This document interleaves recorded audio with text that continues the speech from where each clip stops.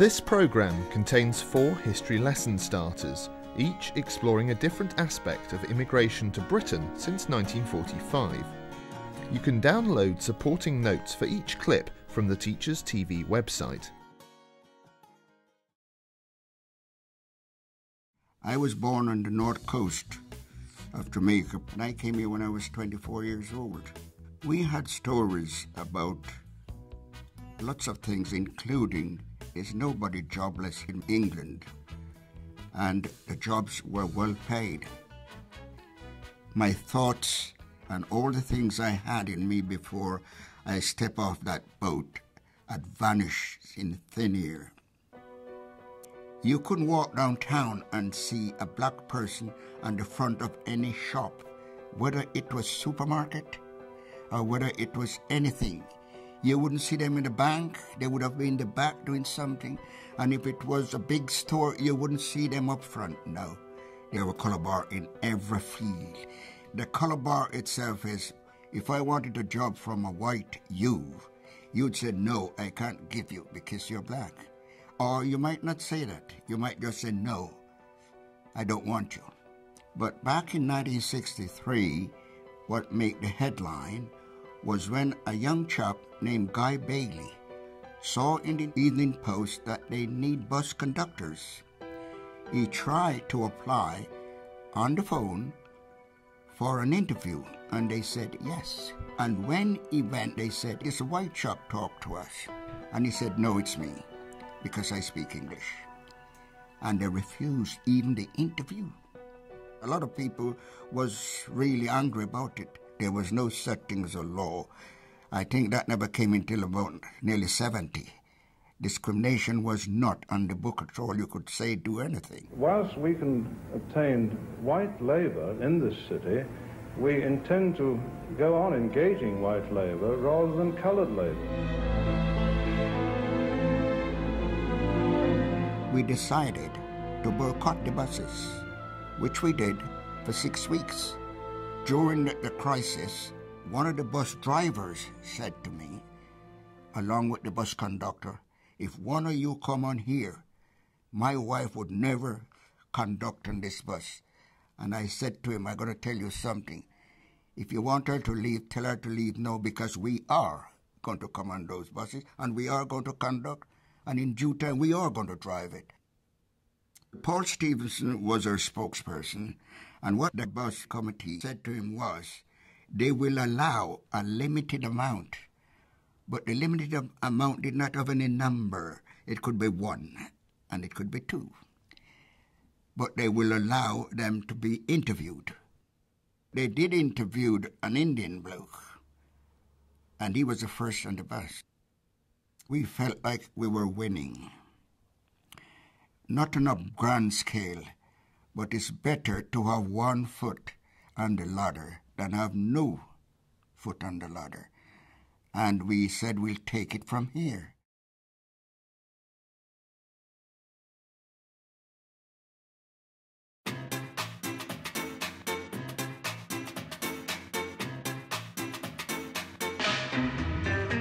My father started the shop here in 1978 and he saw a niche in the market that not many businesses were doing ethnic foods and he started more sort of as a sweet shop but today we're one of the most specialist shop here in Bristol. The variety of food we do caters for all sorts of people from all over the world.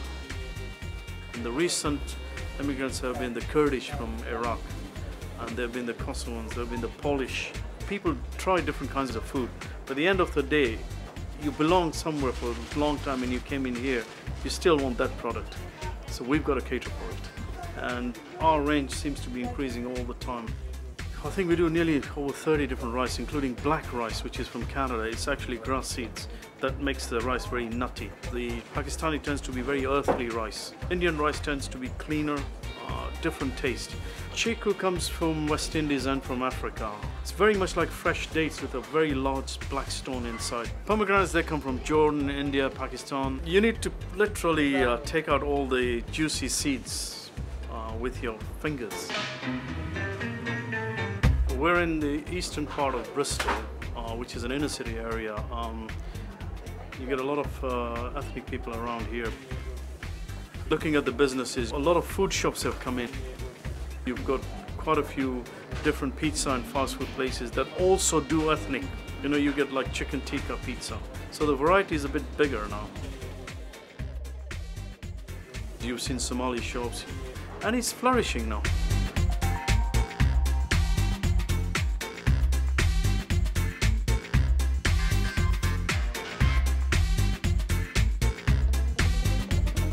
Recently, there's quite a few sari shops that have opened up. So these shops, you know, they've sprung up in Stapleton Road, and uh, they're, they're doing good business. Um, you know, with Bollywood films getting more and more popular, the younger generation watches it, and hence then they want to dress up like that. Stapleton Road now, it's changed. Here you've got Somalis, you've got Kosovans, you've got people from India, you've got uh, Pakistanis, you've also got Africans, Caribbean people. So the variety is just endless, really.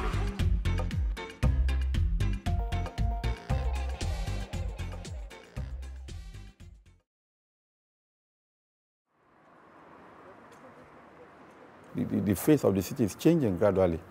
Um, for those who, are, who have been here about a decade or two decades, there has been a lot of transformation. It used to be a nightclub. It wasn't like this before. they used to have their bars, the stage where they have their dancing, all the taps for, the, for, this, for serving their drink and all those things. So, so when we came in, there, there has to be a transformation. We, we put into our own tastes. We changed the color. It used to be painted black.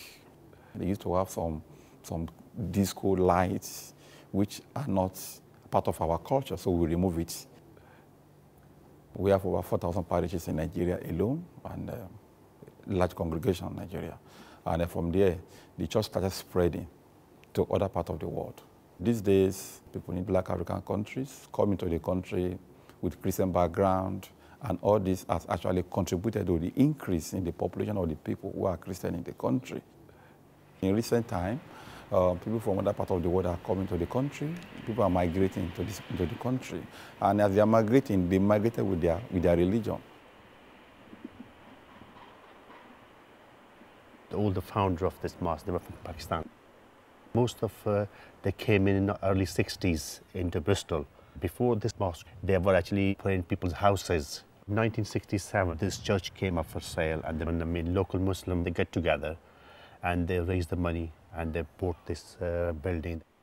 They start doing the renovation little by little, and actually they took them about seven, eight years or to build, it, and that's that's their work. That's that's, that's their hard work. When you walk into mosque, you have to take your shoes off because everything, all the place is carpeted. In the mosque, you're not allowed to have any pictures. Uh, the only thing you will find in the mosque actually, is the verses from the Quran. You have to be clean, okay, before you enter the mosque, and uh, you have to be in a state of wudu.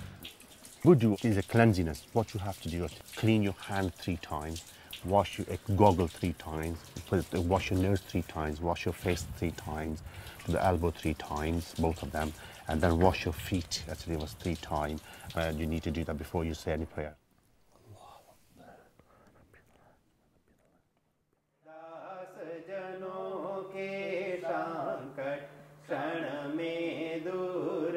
Majority of the Hindu people came from Uganda in 1972. Once they sort out their food and accommodation, the third thing they'll think about place of worship. This temple has been here since 1982. It was closed down Methodist Church and the Hindu people found these premises and that's how they started the temple. Because we are in small community here in Bristol, uh, we don't have lots of spare money to build a huge massive temple, but still we got a small sample, so at least we can say that, oh, te Hindu temples should look like this. There should be columns, arches, domes, and top of the dome there will be a flag. Om is our main holy symbol. Om represent the whole Hinduism itself. If you look around, you will see the picture of Jesus Christ here in the Hindu temple. Uh, well, big surprise. so that means what our religion teach us, we people are worshipping that one God using the different, different names.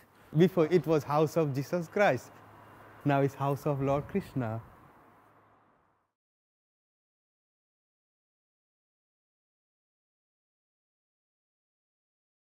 I was born in Turkey in the city of Denizli, which is the southwest of Turkey. I left there when I was five. We moved to England. When I first arrived, it was a new world for me. Everything just seems different, you know, the multicultural people, you know, different race, the area, you know, the buildings, plus getting used to the language. It, it was just, you know, it was hard, but finally managed it.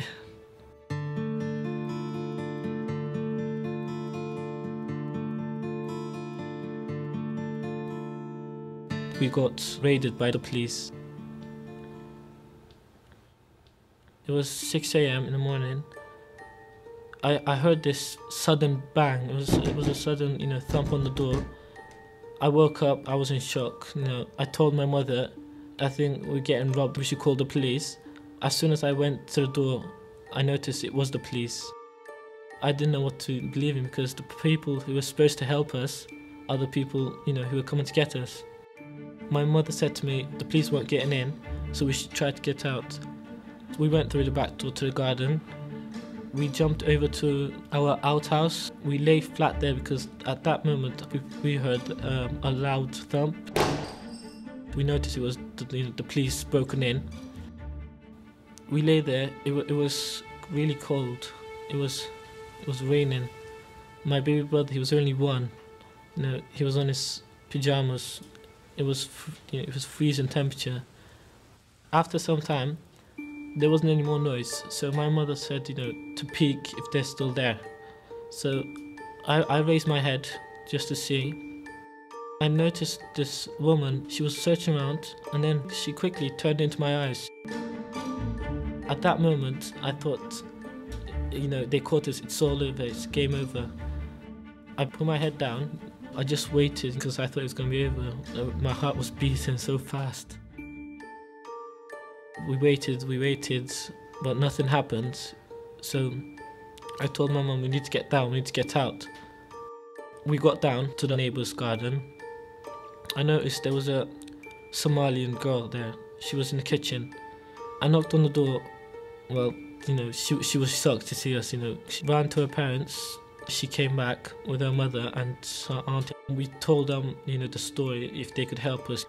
Two minutes later, one of the ladies came back with one jacket and one slippers. We gave the jacket to my little baby brother and the slippers to my mother. After that, we jumped onto the last garden. We knocked on the window, you know, to, to seek for help. There was a white English woman. I told her if, if she could open the back door so we could get out. Without blinking, she went and opened the door. We got out. I don't think I'll ever forget that.